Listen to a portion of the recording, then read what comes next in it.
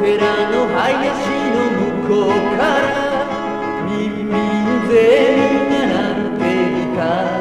母さん心配してるから家路を急げと泣いていた鳥持ちつけた竹持って探し歩いた鬼山道に迷ってしまってガキ大将も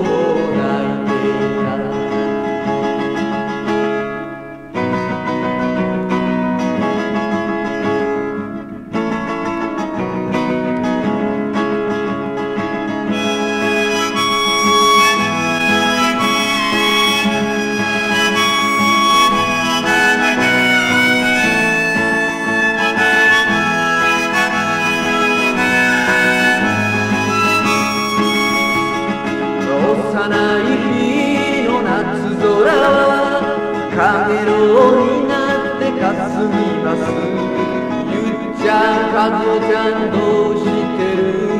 あの頃の君と会いたいよ。お寺の林の向こうからみんみんゼミが鳴いていた